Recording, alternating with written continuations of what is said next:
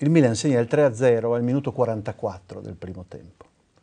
Vorrei sapere, quasi alla moviola, che cosa pensa lei nel momento in cui al 45esimo si alza dalla panchina per, entrare, per andare verso lo spogliatoio? Che cosa pensa in quel? Ricordo bene, te lo dico perché eh, io stavo scrivendo 2-0 che, che devo dire a metà tempo parlando in inglese, perché dieci anni fa, il mio inglese adesso non è fantastico, dieci anni fa era anche peggio doveva parlare 2 a 0, che devo dire? E in questo momento pum, subiamo il, il 3 a 0, anche più difficile.